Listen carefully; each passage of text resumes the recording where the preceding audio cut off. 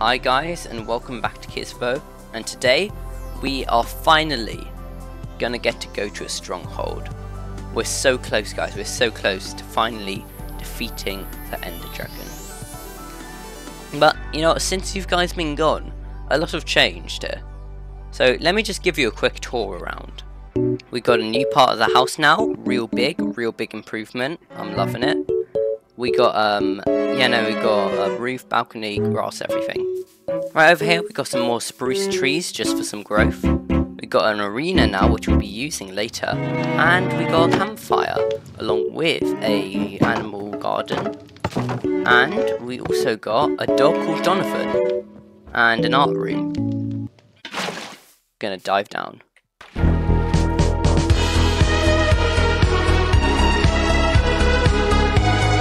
Oh god, I just flooded the entire place. Whoa.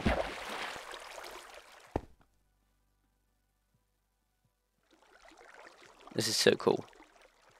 Although, although, there could be mobs just about anywhere.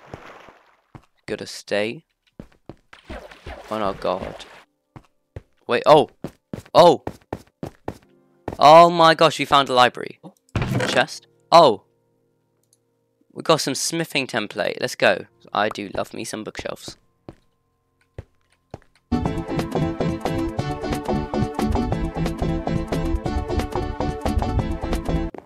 If we legitimately oof ourselves, and like, I just won't play anymore. Wait. I think I found something. Should be through here. Good way. we got him! Found it. Oh, shoot. It's one of these things. Get the sword out. Right. Just nice and easy. Nice and easy.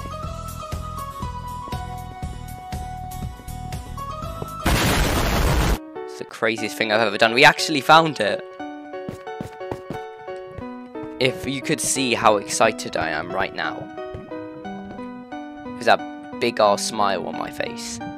Very goofy R as well. But still, we actually found it. Need to sign this place up. Oh! Look at all of this. No, we don't need the spruce no more.